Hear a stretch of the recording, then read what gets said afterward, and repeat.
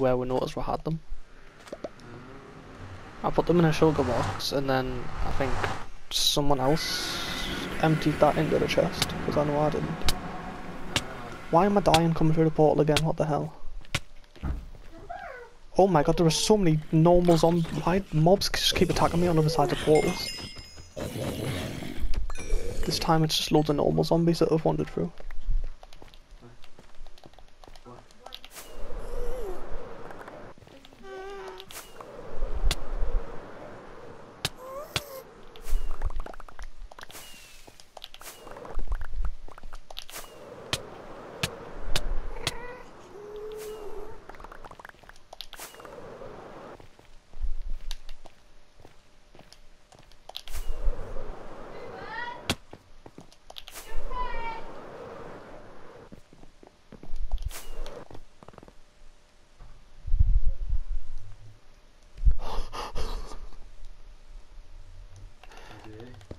Oh my god.